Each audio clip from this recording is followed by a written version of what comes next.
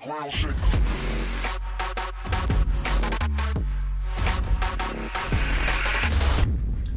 Tervehdys YouTube! Tänään me asennetaan Starcam-kameraa. Eli tää oli jonkin aikaa sitten unboxingissa vihdoin ja viimein. Tästä on nyt sitten installation video, eli vähän käydään läpi millä tää asennetaan. No, tää on aika simppeli. Tässä on kaksi johtoa. Toisen tulee virta. Toinen täytyy vielä toistaiseksi laittaa siihen VLAN boksiin kiinni, jonka VLAN kantaman alueella tää menee. That's it. Sen jälkeen se on siinä. Odotetaan, että se käynnistyy. Otetaan kapula käteen. Avataan täältä kapula. Ot, mennään tonne Google Playhin, Play-kauppaan. Tai iPhonella on vastaavanlainen. Ja sieltä semmoinen ohjelma kuin EUE 4. Siinä on semmoinen sininen, mä voin tosta sen nyt näyttää, eli mennään takaisinpäin, takaisinpäin, takaisinpäin. Toimis nyt. Eli mihin mä kerkisin sen nyt sit jo hukkaamaan. EU, EU4, tollanen sininen ikoni ja siinä on nelosen kuva. Klikataan sitä, päästään tämmöiseen Starcamin omaa EU4 softaan. Ensimmäistä kertaa kun sä tänne meet, niin täytyy tehdä tili. Eli simppelisti nimi, passwordi, that's it. Se yhdistää tämän kapulan pilvipalveluun ja, pilvipalve- ja tämä kamera yhdistää netin kautta itsensä samaan pilvipalveluun. Ja kun sä tiedät tästä kamerasta tiedot, niin sen jälkeen sä pystyt tämän luurin kanssa yhdistämään tämän kameran keskenään, niin se kulkee sen nettiyhteyden ylittää sen pilven kautta se data. Eli tämän näköinen on se käyttöliittymä. Täältä mennään device managementiin, jos se ei ole tämän näköinen. Yleensä täällä vasemmassa yläkulmassa on talon merkki tai tämmönen näin. Tai siinä muistaakseni heti taitaa lukea add camera. Tsekkaa myös tää Starcamin toisen kameran äh, asennusvideo. Ja tota, tässä sitten me ensimmäistä kertaa rekisteröidytään sinne, niin tää on nyt vähän nopeampi tää kyseinen video. Eli täällä oikeassa yläkulmassa on plussa, painetaan plussaa siitä, valitaan IP-kamera, koska tää on IP-kamera. Sen jälkeen me unohdetaan kaikki muut ja täällä alhaalla on add-kamera QR-koodin kautta. Ja täällä kameran alapuolessa, tossa kohtaa missä mun sormi on, mä en näytä sitä QR-koodia nytten, on QR-koodi ja se teki jonkin aikaa sitä, että se luki tätä viivakoodi tuon QR-koodin sijaan. Eli mä peitän peukalolla kaikki muut paitsi tuon QR-koodin. Täältä valitaan eh, take QR-koodi. Tosta otetaan tuo QR-koodi, QR-code scan. Sen jälkeen me skannataan tosta toi QR-koodi noin. That's it, tättärää. Sen jälkeen salasana, ton laitteen salasana on defaultina 88 88 88 68. Jos jokin ei toimi tai se osta käytettynä, täällä on nappula, mistä se resetoidaan se kamera. Vasen alakulma confirm. Painettiin siitä. Add camera successfully. Yes. Okei. Okay. Sen jälkeen siellä näkyy jo kuva. Painetaan tosta.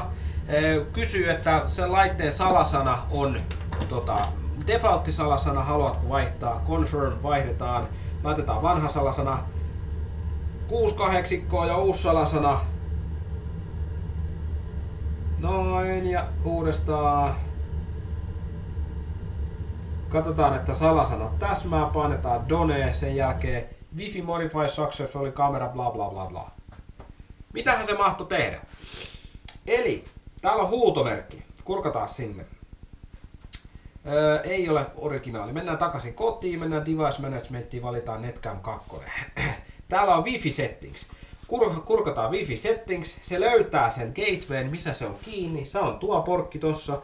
Valitaan täältä Wi-Fi password ja laitetaan siihen Wi-Fi salasana, joka on.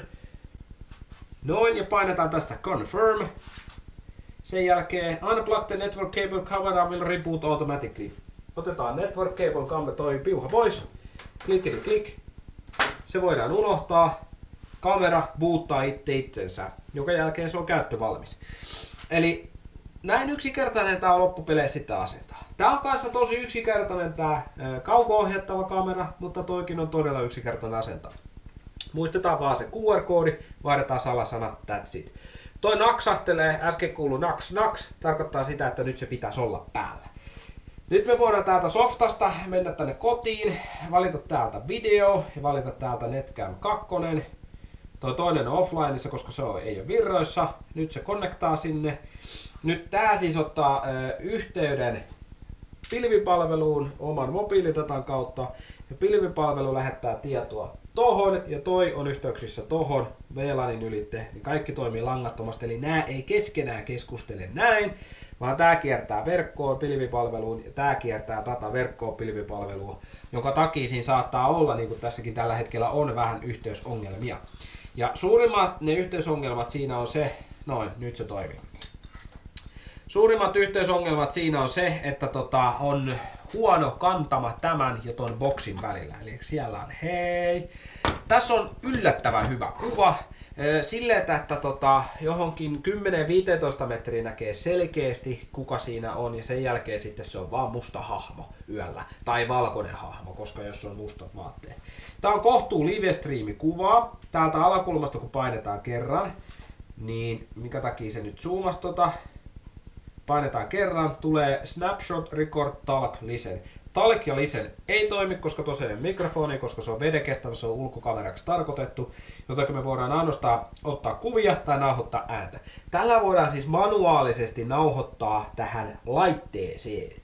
Eli se ei nauhoita sitä tonne. Erikseen, jos sä haluat, että se nauhoittaa sen tonne, niin tuolla takana on SD-muistikorttipaikka. Siihen laitetaan SD-kortti. Siellä on 8 gigainen kortti tällä hetkellä. Riittää noin viikkoon, jos se nauhoittaa jatkuvana ja kuukausi, kaksi kuukautta, vähän riippuu millainen on motion sensori, eli kuinka herkästi se ottaa sitten sitä videota ja kuinka paljon on liikennettä ympärillä, niin vähän riippuu siitä, kuinka herkästi sitten tulee täyteen toi 8 giga muistikortti. Sen lisäksi tämä näyttää täällä nopeuden ja täällä on STD täällä vasemmassa alakulmassa.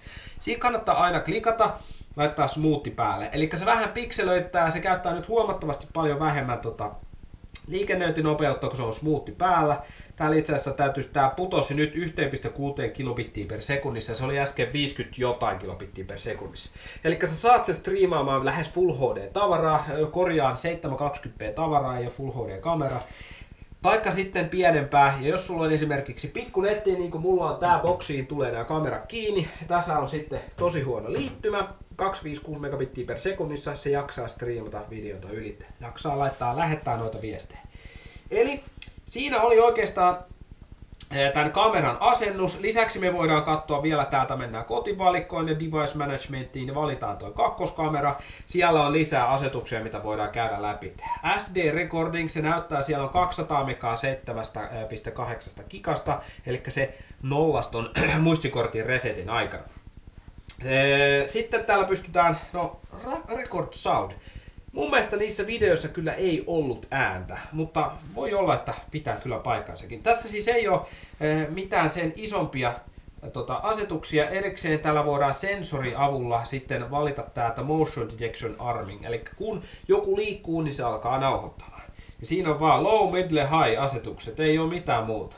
Jos middle oli liian herkkä, low oli liian huono, niin ei ole mitään siitä väliltä. Se on itse asiassa aika huono. Yleensä saisi olla semmoinen 0-100 niin kuin liuku, liukukytki periaatteessa. Notification type täällä löytyy, eli siis kun jokin tulee kameraan ja toi alkaa nauhoittaa, niin se lähettää joko ö, kännykkään notificationin, bling, katso kameraa, joku liikkuu siellä, jaha, vaimo on perunakellarissa taas hakemassa lisää perunoita, okei, hyvä juttu, mennään pois, tai jotain vastaavaa. Sähköposti on toiminut tosi huonosti. Lähettikö se mulle yhden sähköpostin? Et en ole ihan varma, onko siellä sitten ruuhkaa palvelimessa, tai sitten se ei ole vielä toimiva feature. Mutta tuo notification toimii todella hyvin. Meillä on kaikilla kapula taskussa ja siihen tulee viesti. Okei, juu, juu, joku on tuolla, katsotaan mitä tapahtuu. Tai illalla tulee viesti, joo, joku kulkee takapihalla, kuka siellä menee? Jaa, Jänis, siellä paskoo menemään. Niin, esimerkiksi. Täältä mennään backia, backia. Lisäksi täältä löytyy firmware-päivitykset tai salasanavaihdot, nämä perusjutut täällä. Ja lisäksi näyttää pienen kuvan tuossa, mitä videota siellä on. Me pystytään katsomaan eh, tai tekemään pienen osa se säätöä tänne, tänne, tänne kameraan, jos on ylösalaisin, niin sä saat käännettyä vertikaalisesti ja horisontaalisesti tuota kuvaa täältä flippailemaan sitä puolin ja toisin, josta on asennettu vähän johonkin hankalaa kulmaa brightness kontrastit pystyy, tuossa on todella hyvä toi yönäkö. Et se ei oikeastaan vaadi periaatteessa. Se voi olla huono, jos siinä on toi, toi, toi, toi joku valo siinä vieressä. Tuossa on todella hyvä se pimeä näkö. Se kannattaa pitää mielessä. Sitten täällä pystyy, valitaan video ja records ja valitaan Netcam 2. pystytään katsoa, mitä tuohon kameraan on tallentunut. Se näyttää aika paljon siellä videopätkiä, niitä pystyy katsomaan. Täällä on ihan törkeästi tavaraa, joten katsotaan nyt, onko nämä vanhoja juttuja vai näyttääkö se täältä. Noin, se näyttää sieltä videoa, mitä silloin on kuvattu. 26.12. kuvattu seinää. Noin. Siellä on sitten seinää kuvattu ja sitten sitä voidaan täältä katsella kello 23.33 edelleenkin seinä. Noin. Öö, asennettu kamera oikeassa paikassa toimii näppärän hintainen, eritoten näppärän hintainen. Siihen ominaisuuksia, siihen kuvalaatuun, mitä toi pystyy lähettämään. Tosi hyvä kamera. Tykkään. Tykkään myös tostakin kamerasta. Aika paljon tuli testailtua. Nyt ei vielä ollut pakkasi 10 astetta. Toimii hienosti ja mitä ongelmaa.